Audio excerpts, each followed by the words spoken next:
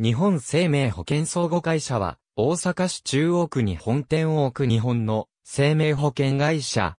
保有契約項、保険料収入、総資産で日本最大手である。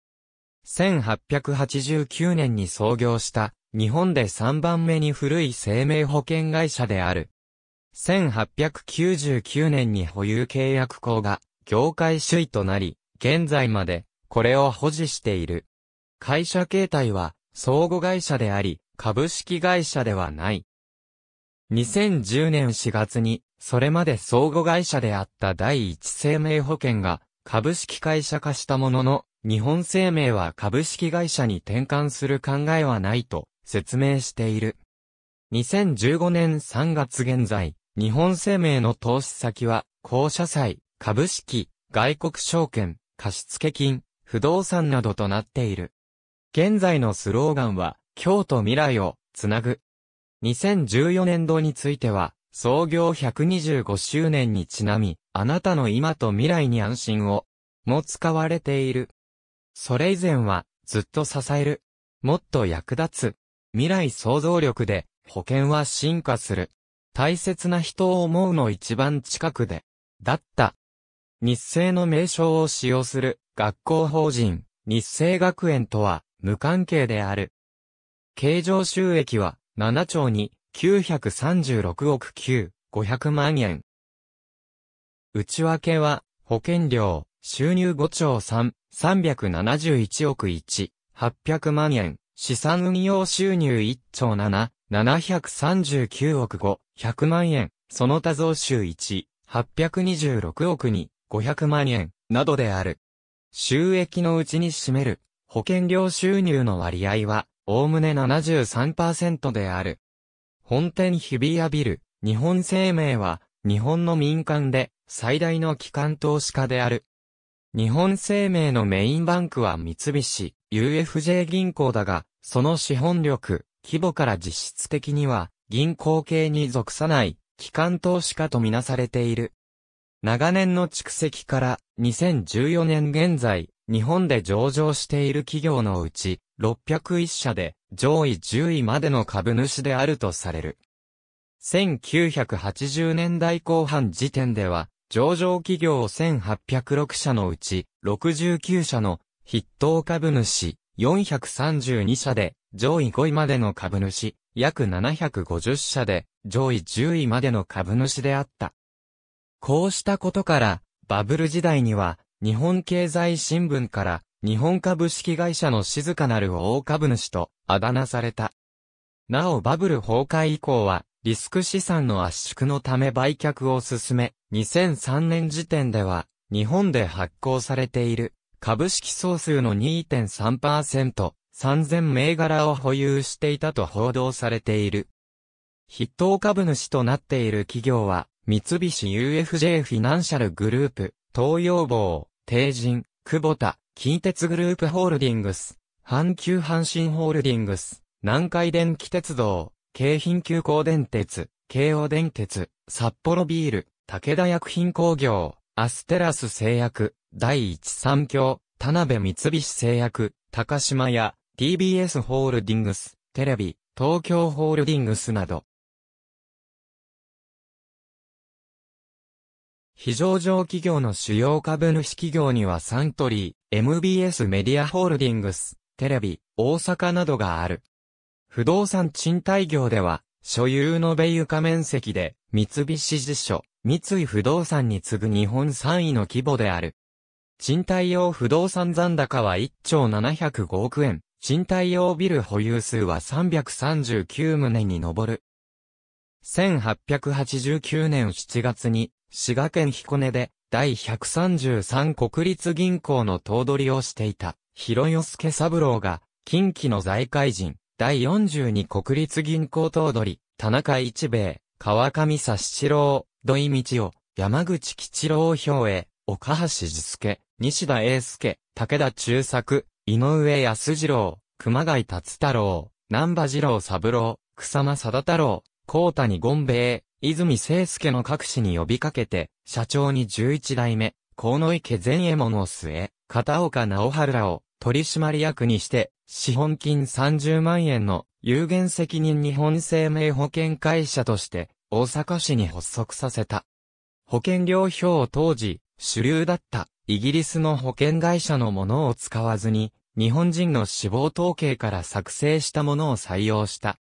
1891年に株式会社化し、相互扶助の精神のもと1898年の第1回大決算において、日本で最初に契約者への利益配当を実施した。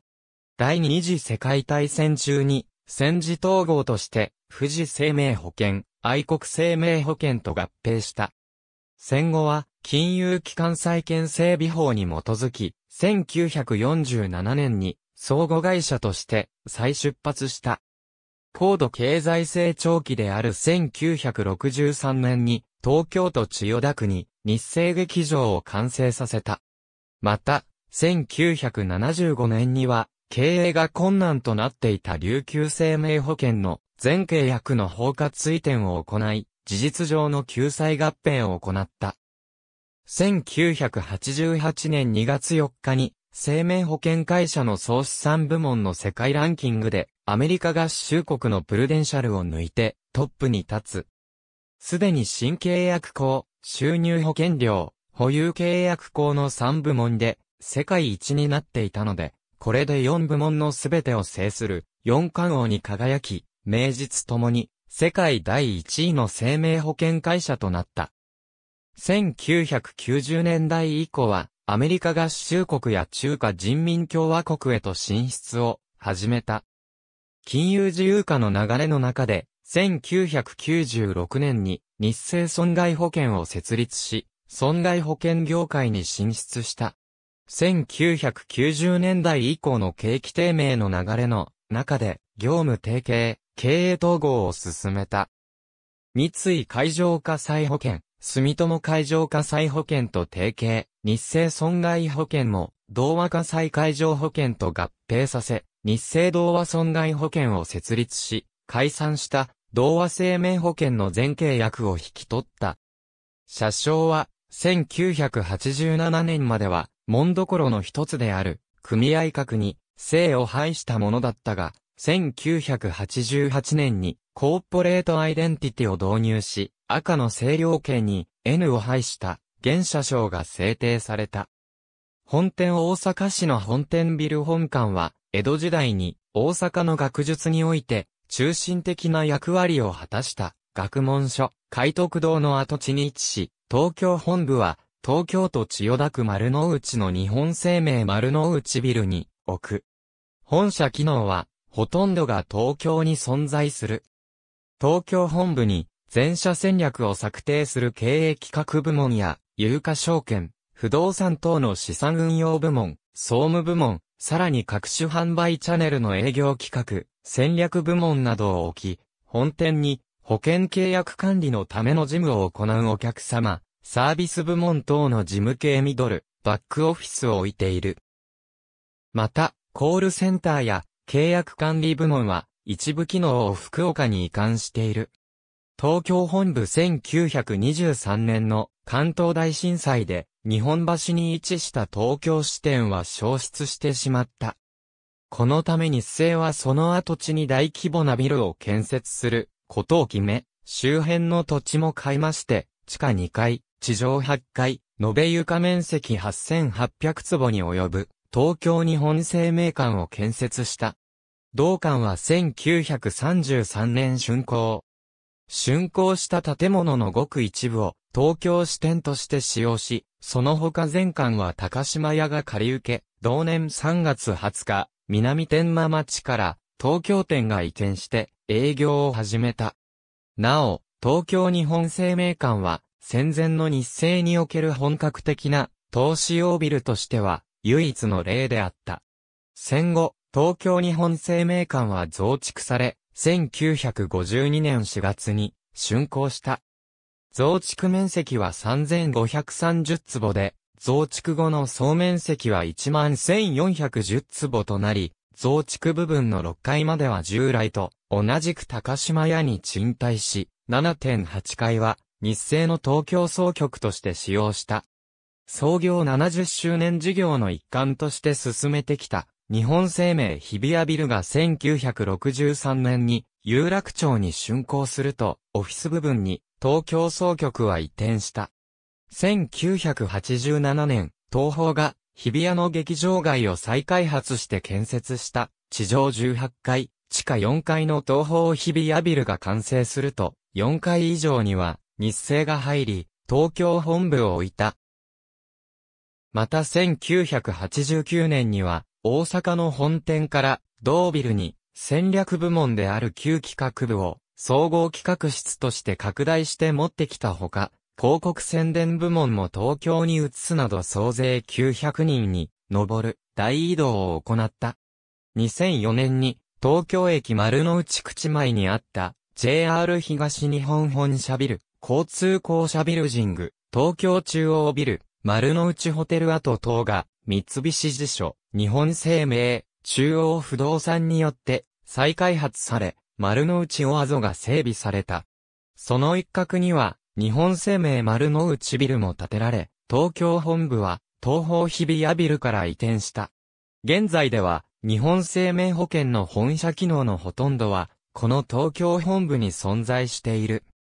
システムセンター、堺市にシステムセンターを東京都内にバックアップセンターを保有しているが、2011年度に茨城市に新システムセンターを設置し、堺市のシステムセンターと日本の生命保険会社としては初めてメインシステムの並行稼働をさせた。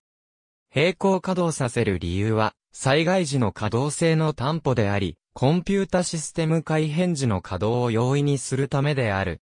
また、茨城市の新システムセンターには、商品企画の研究開発部門を併設し、保険商品の開発や、保険金不払いの可視を防ぐコンピュータシステムの開発を行う。また、本店被災時のバックアップセンターも設置された。スポーツ活動としては、公式野球部と女子卓球部の活躍が有名であり、他に柔道部も活動中。過去には、陸上競技部も存在し、女子5000メートル元日本記録保持者の八島厚美や後に2007年世界選手権、大阪大会女子マラソン、日本代表となる橋本康子らが在籍していたが、2002年3月に廃部となった。昭和4年創部。都市対抗野球大会では、昭和24年の初出場以来、通算58回目の出場、4回優勝。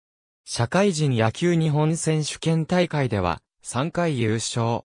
平成27年には史上3チーム目となる都市対抗日本選手権の夏秋連覇を達成した。昭和29年創部。日本卓球リーグ前期優勝13回、後期優勝18回、内閣総理大臣杯17回。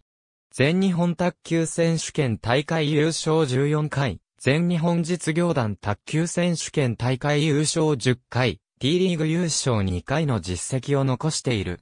2018年開幕の T リーグに参加し、初代王座に輝いた。全国実業団女子最多の計43回のタイトルを獲得している。8月1日、チーム名、ロゴマスコット、所属選手の発表を行い、日本生命レッドエルフと発表された。レッドは、チームカラーの赤から、エルフは、英語の、妖精と、ドイツ語の、11から取られている。他多数グループ会社でも色を変えて使用されている。2013年には、企業 CM、オレンジ編にも出演。ありがとうございます。